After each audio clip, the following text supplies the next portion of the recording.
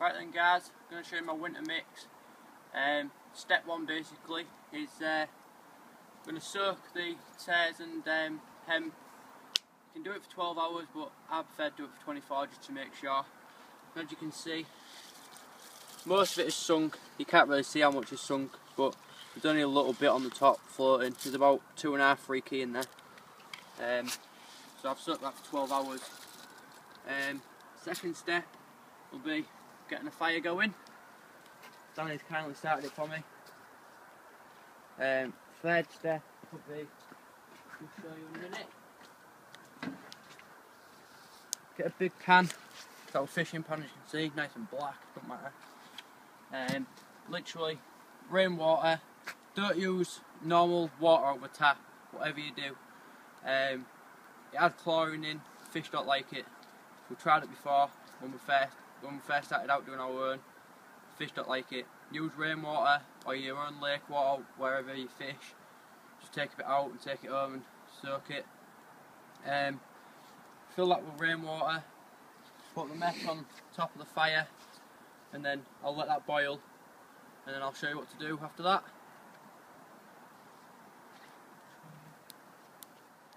Next step is I've got a, a pan of rainwater, like I said. We didn't get it from our lake. Um, put it on top of the fire. I've set the fire up. That will probably do for our whole thing. You can do it on gas. You can do it on whatever you want. We're doing it basically on a on this because we have log fires in the house and it's a lot cheaper for us to do it like this. So we're doing it like that.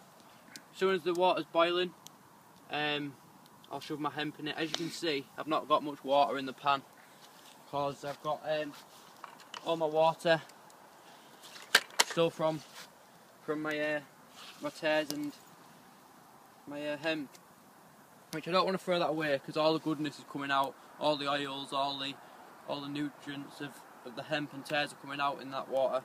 So I don't want to throw it away. I want that in my mix. So as soon as that starts boiling, I'll put that in there. Um, when it gets boiling, it should take up 30 to 45 minutes for your for your um, hemp to crack, for the tails to come out. So when that gets boiling, we'll show you the next step.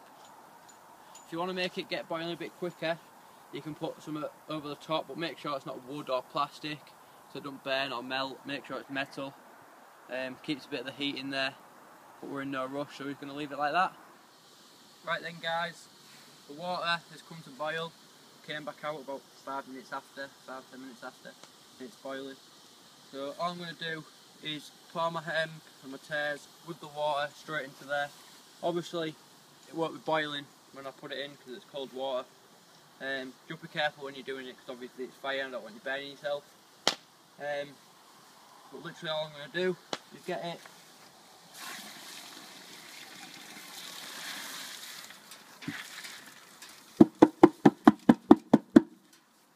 pour it in there, that's empty. As you can see, it's all floating at the minute. As that boils, we'll just go down. Obviously you'll get a few that float that, that aren't very good. We're not too worried about them.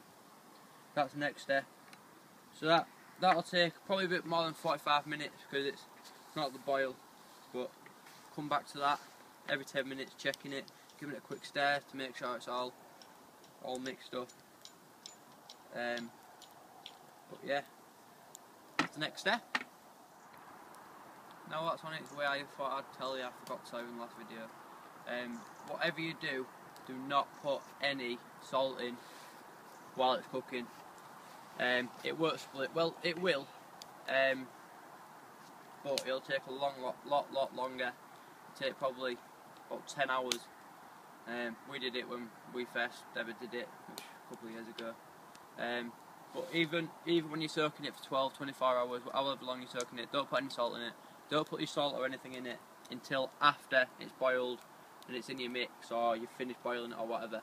But whatever you do, don't put it in. Um, you can put chili flakes in it, you can put other things in it, but don't put the salt in it, whatever you do. Right then guys, um, come out about 20 minutes later, boiling. Um, you won't really be able to see it because it's dark now, but it's starting to crack some of it. It's all sunk, which I don't know if you'll be able to see it. Get some in my spoon for you. Don't know if you'll be able to see it, but starting to crack. Um, all I'm going to do now, put my maize, because it's nearly there, it'll only be another 10 minutes. Pour my maize in. Get that cooking ready. That won't float at all. That won't float at all.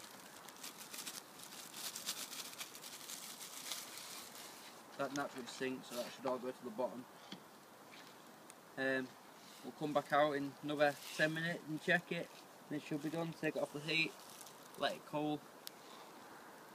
Um, probably tomorrow or next day now when we do the mix and show you. It's pretty much the same as Danny's. Right then guys, um, come out another 5 minutes, been on 45 minutes now. It's fully cracked. Um, so I'm going to take it off the heat and let it cool down.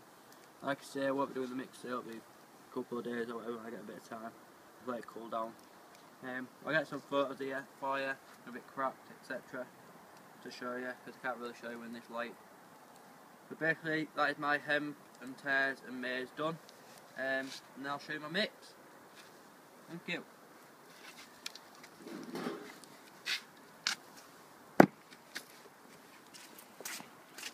Shine over here.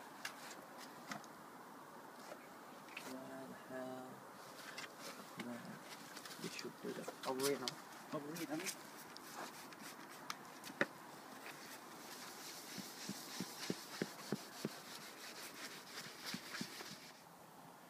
Right, James has just put the uh, his mix straight from that hot pan into this uh, cold plastic bucket bowl.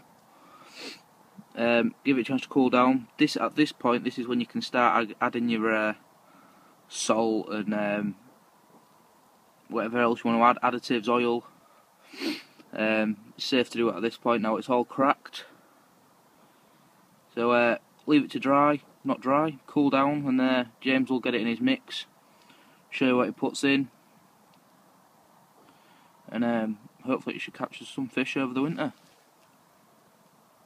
Nice one.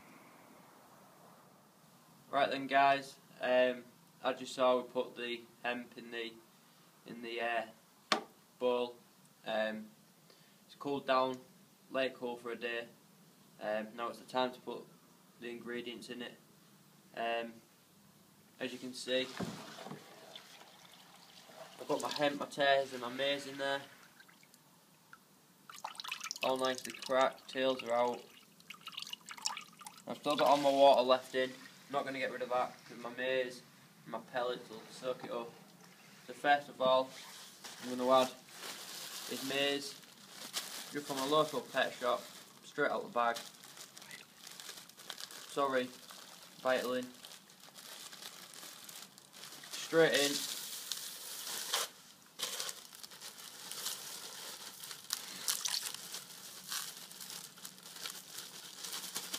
That'll dry a lot of the goodness up from your hemp so it still stays in your mix. That, it'll still look really wet but it'll dry a lot of it up when you're leaving it to settle.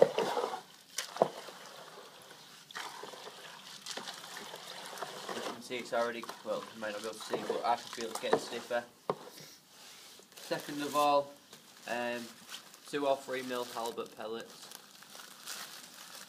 Got just over a kilo of these.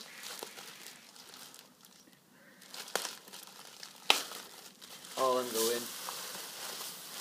Again.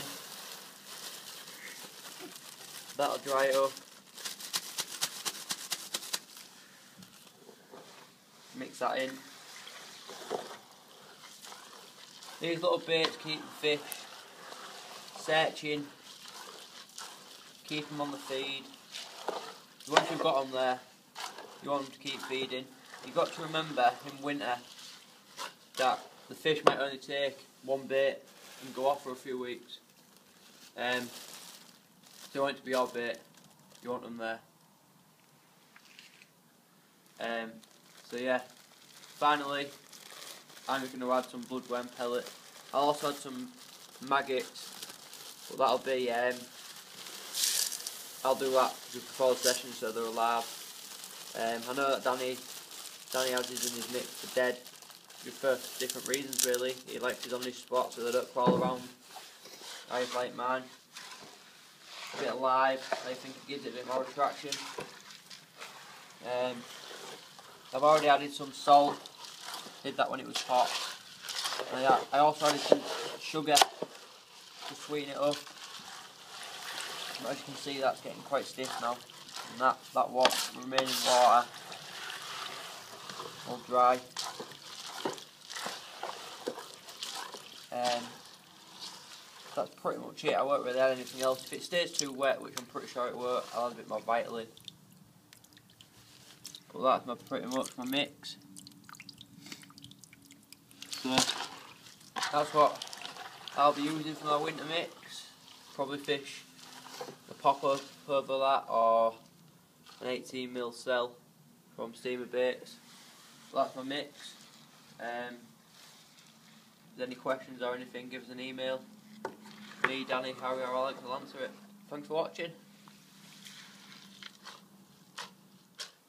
Right then, I thought I'd talk to you a little bit more about um, why I'd use this and uh, what rigs and, and things I'd use over it. Um, I'll start off my rigs. Uh, I'll fish smaller baits in winter. Usually, me personally, I use bright, bright pop-ups, 10 mil, um, Indian Spice, bright colours. I think it catches the fish's eye. And like I said, fish they usually only take one, two baits, and they don't they don't really feed much. So you want to make sure it's your bait. So I want it to stand out. Um, the rigs that I'd use over it, it'd be a lot shorter rigs because the fish are a lot slower. They're not moving around. They're staying on one spot, focused. So I want I want my bait on top of my spot because uh, my spot might only be as big as this bowl. And I don't want a long rig on it, or it probably won't even be as big as that. So I don't want my rig on the outside or wherever. I need to be accurate. Um, my casting will be spot on. Can't, can't afford to for my for my um for my rig to be away from it. It's got to be on it to catch. Uh, I'd use particle instead of boilies because boilies in the winter stay really hard, um, and the fish can't really digest them. They don't really they don't really like them.